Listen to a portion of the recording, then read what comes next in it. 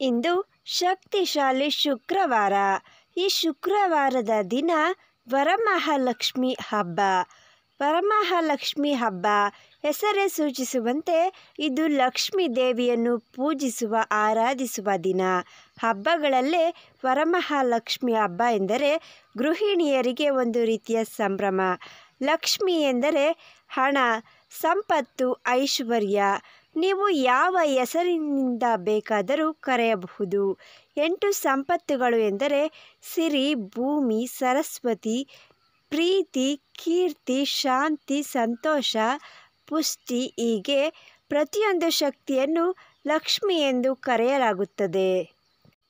ಹೀಗೆ ಹಲವಾರು ಹೆಸರುಗಳಿಂದ ಕರೆಯಲ್ಪಡುವ ಲಕ್ಷ್ಮಿಯನ್ನು ಶ್ರಾವಣ ಮಾಸದಲ್ಲಿ ಭಕ್ತಿಯಿಂದ ವ್ರತ ಆಚರಿಸಿ ಪೂಜಿಸುವುದರಿಂದ ಲಕ್ಷ್ಮಿಯು ಸಂತೃಪ್ತಳಾಗಿ ಭಕ್ತರ ಬಯಕೆಯನ್ನು ಈಡೇರಿಸುತ್ತಾಳೆ ಮತ್ತು ತನ್ನ ಭಕ್ತರಿಗೆ ಉತ್ತಮ ಸಂಪತ್ತನ್ನು ಕರುಣಿಸುತ್ತಾಳೆ ಎಂಬುದು ನಂಬಿಕೆ.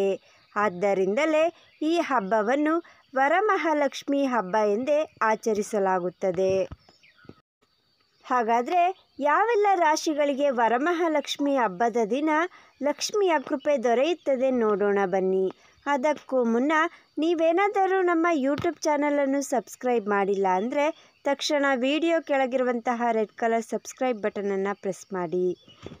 ಹಾಗೆ ನೀವು ಕೂಡ ಲಕ್ಷ್ಮೀ ದೇವಿಯ ಕೃಪೆಗೆ ಪಾತ್ರರಾಗಬೇಕಾದ್ರೆ ಈಗಲೇ ವಿಡಿಯೋಗೆ ಒಂದು ಲೈಕ್ ಕೊಡಿ. ನಿಮ್ಮ ಜೀವನದಲ್ಲಿ ಯಾವುದೇ ಕಠಿಣ ಸಮಸ್ಯೆಗಳಿದ್ದರೂ ಕೂಡ ಡಿಸ್ಪ್ಲೇ ಆಗುತ್ತಿರುವ ಗುರೂಜಿ ನಂಬರ್ಗೆ ಕರೆ ಮಾಡಿ ಕೆಲವೇ ಗಂಟೆಗಳಲ್ಲಿ ಶಾಶ್ವತ ಪರಿಹಾರ ಮಾಡಿಕೊಳ್ಳಿ. ಹೌದು, ಇಂದು ಬಹಳ ವಿಶೇಷವಾದಂತಹ ವರಮಹಾಲಕ್ಷ್ಮಿ ಹಬ್ಬ. ಇಂದು ಬಹಳ ಶ್ರೇಷ್ಠವಾದ ದಿನ.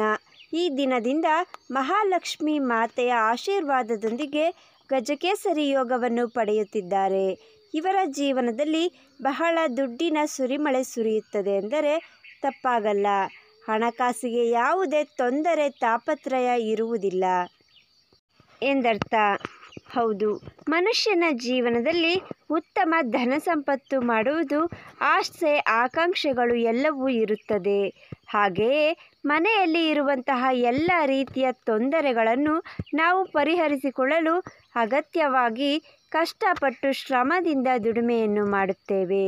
ಅಧಿಕ ಧನಲಾಭವನ್ನು ಸಂಪಾದನೆ ಮಾಡಿ ತಮ್ಮ ಕುಟುಂಬದವರಿಗೆ ಉತ್ತಮ ಜೀವನ ಕೊಡಬೇಕು ಎಂದು ಪ್ರತಿಯೊಬ್ಬ ಮನುಷ್ಯನ ಆಸೆ ಕರ್ತವ್ಯವಾಗಿದೆ.